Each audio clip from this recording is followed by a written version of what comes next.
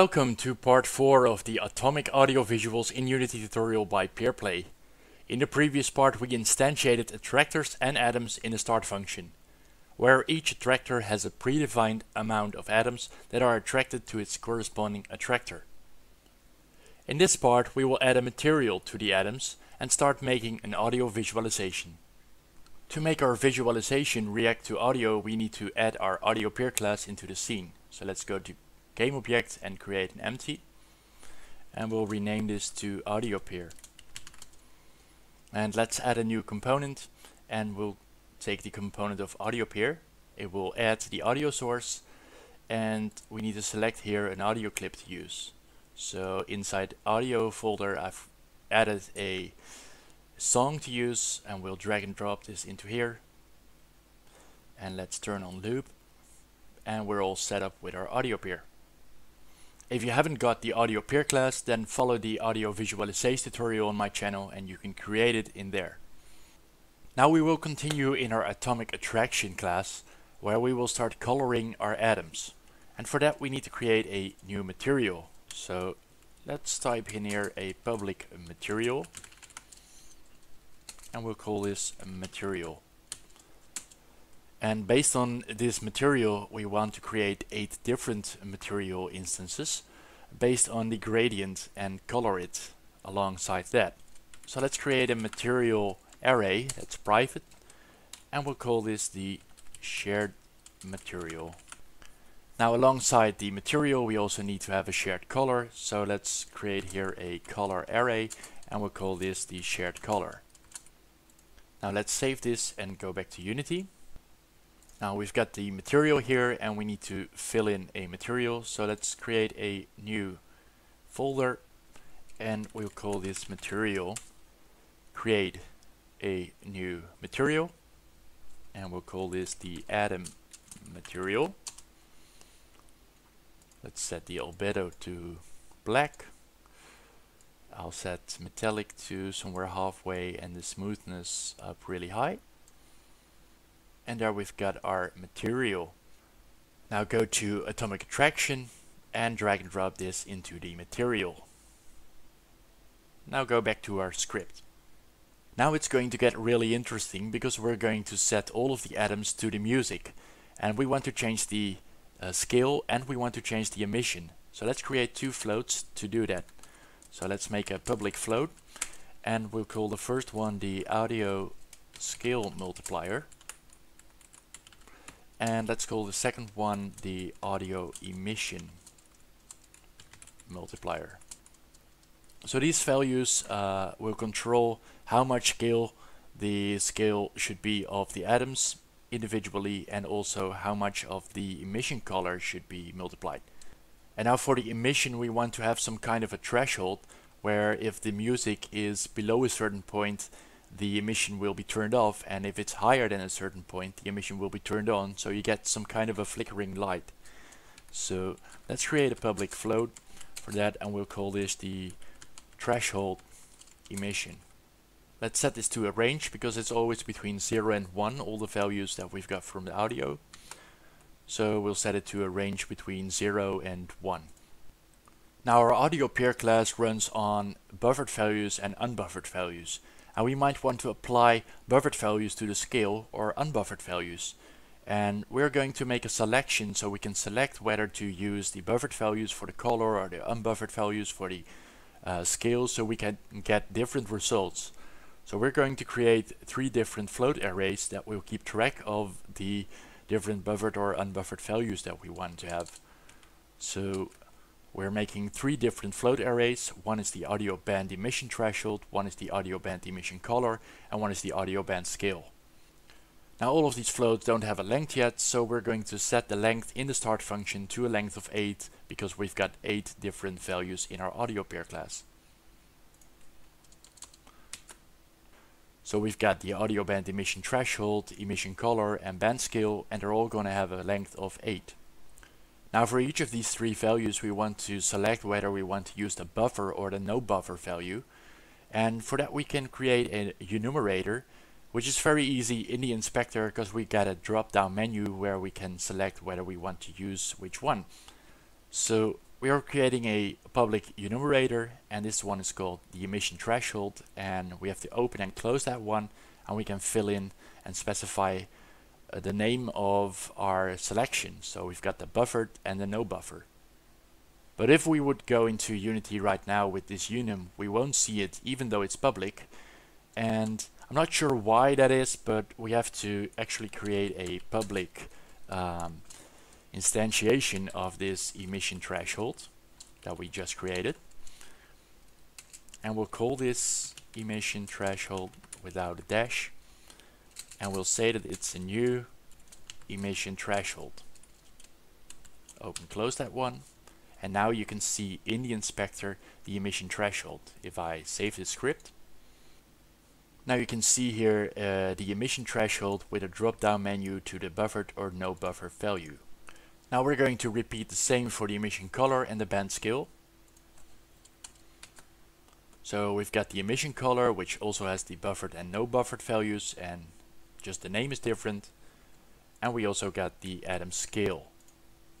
And now we've got three values that we can change. Now when we change these values nothing is happening yet and in the update values we're going to make a check whether we use the buffered or the no buffered values and we're going to set the uh, audio bands of the audio peer to these different float arrays. So let's scroll down and go to the update. And to not clutter our script too much, we're going to create a new void that will say that we select the audio values. So let's create a void and we'll call this select audio values. Now in the update, we will say select audio values It's going to run.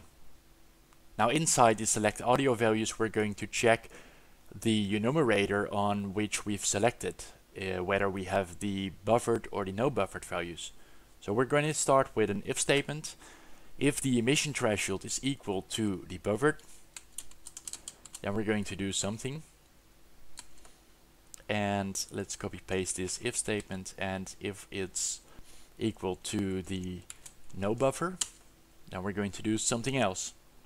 So with a for loop of a length of 8, we're going to say that the audio band emission threshold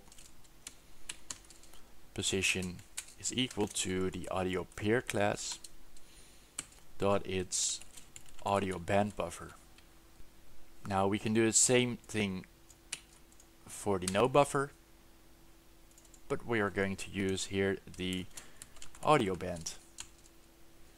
So let's comment this that this is about the threshold. Now we can copy paste these two times. Now let's change all these values. So we we've got here the emission color instead of the emission threshold and here we've got the emission color with the dash in front. And here we've got the audio band emission color and as well as here and for the atom scale, we need the atom scale. And this is going to be the audio band scale. As well as for this one. Now before we add our atom behavior in the update function, we still need to first apply our material and our colors to the atoms. We will do this in the start function and we've got our shared material and we need to say that it's going to be a new material with a length of 8. Now, as well as for the shared material, we also got the shared color, and it's going to be a new color with the length of 8 as well.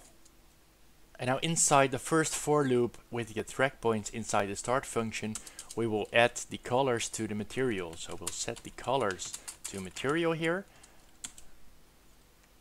And what we want to do is we have eight different materials and we want to make instances of these materials and set it to the shared material array. So let's create a uh, material here and we'll call this the mat instance and it is going to be a new material and it's going to use the material prefab. Now for the shared material its position will be the material instance. And now for the shared color it's going to be evaluating the gradient and we're going to do a step of 1.25 times i. And now we need to apply the shared material still to the atom. So if we scroll all the way down to right above the count atom, we will say that the atom instance dot get component get its mesh renderer dot its material is going to be the shared material i.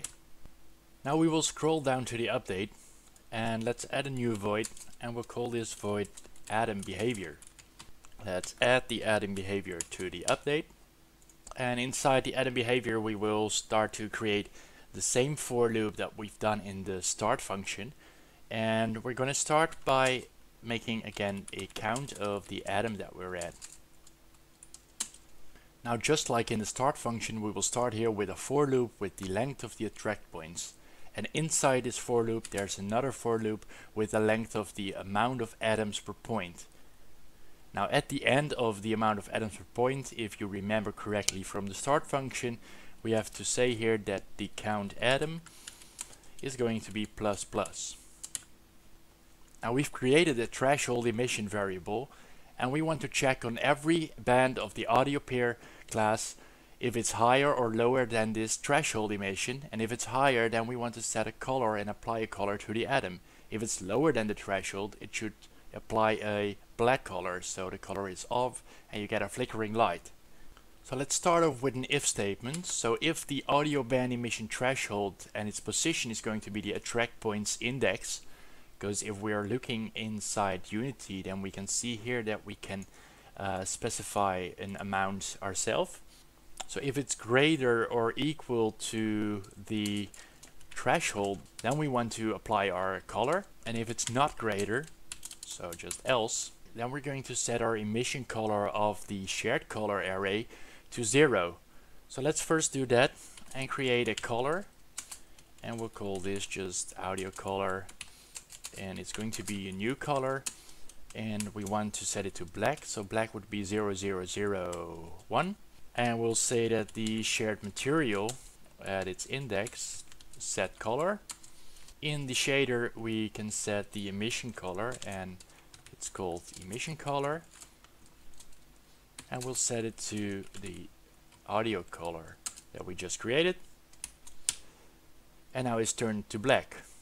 Now if it is greater than the threshold, then we want to set our color to the amplitude of our audio band. So let's create a color here and we'll call this as well audio color and it's going to be a new color and now we've got to set the RGB and A values. So let's say that we take the shared color that we've set and we want to get its R now let's multiply this by the audio band emission color and its position is going to be the attract points position in the loop and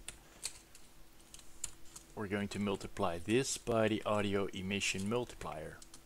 Now copy this and this is a 1 for the A and we can close that one. Now we just need to change this to G and B now that we've done that, we can do the same as in the else function. We can set the shared material, its emission color to the audio color we just specified. Now we only need to set the scale of the atoms to the music inside this for loop in the update. So we're going to talk to the atom array and we want to have the position of the count atom and we want to get its transform dot its local scale. And it's going to be a new vector 3 which will take at first the atom scale set that we've set up in the start function. And we're going to get the count of the atom plus the audio band scale attract points and it's going to be multiplied by the audio scale multiplier. Now let's set a comma here, copy paste this two times. We can close this one here. Now somehow I forgot to open this for loop and also somehow the count atom uh, got removed, so count atom plus plus. And with that in place, we can save the script and go back to Unity and check out the result. So here we've got all of the different variables that are exposed to the atomic attraction class. We've got the audio scale multiplier, audio emission multiplier, threshold emission, and the different buffers or no buffers that we can choose. So let's check out the result of the scene. As you can see it looks pretty cool already. We can change all of these variables at runtime and we can change the threshold emission or change this to no buffer and get a different result in our visualization. So this comes to the end of this tutorial part. In the next part we will look at the post-processing and we will animate our atomic attraction to create some cool compositions. But for now I want to thank you for watching. If you learned something then please give this a thumbs up. If you want to subscribe to the channel to stay updated with more tutorials then please do that. And look at my Patreon account for uh, getting the source code of this project with presets included. Thank you for watching and see you next time.